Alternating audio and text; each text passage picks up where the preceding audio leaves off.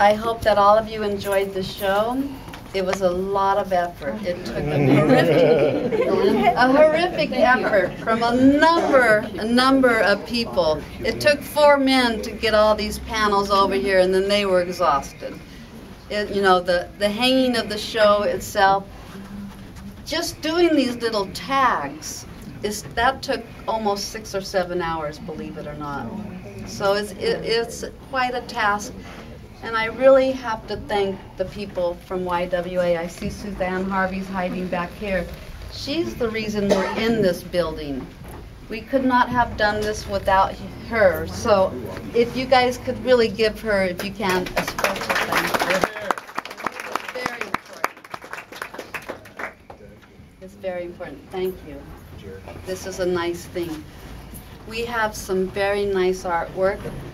Um, we have some awards to give out. Our judge was Jerome Grimmer. If you didn't get to see his artwork, it was here. It's very, very. good. he hid it because it makes ours all look a little bit Oh. less.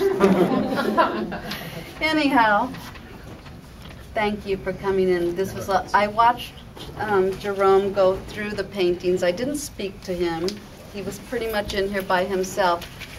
He would go to a piece and look for quite a while quite a while. Then he would go away.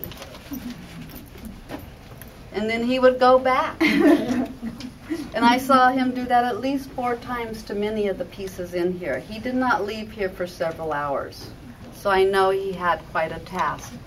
I didn't speak to you, but I spoke to you afterwards, and I had some questions about how he chose his best of show.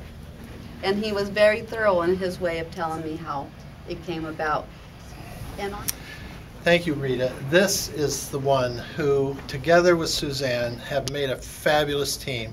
And uh, most of what you see goes on, oh, most of what is represented here took place behind the scenes quietly and uh, long hours, dedicated hours. And putting on a show like this is made up of endless little details that are never seen but are absolutely indispensable. Thanks to all the YWA members who made this show such a big success.